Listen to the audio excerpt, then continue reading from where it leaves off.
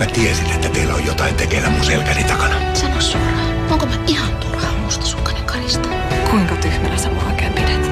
Itse asiassa se oot sä, joka tekee niin kuin mä sanon. Mä ei tiedä, mikä siihen iski. Tällä kertaa sitä ei pelasta mikään. Ja Daniela. Älä mene, auta. Salatut elämät palaa tauolta maanantaina 29. tammikuuta alkaen MTV Katsomoon ja MTV Kolmoselle.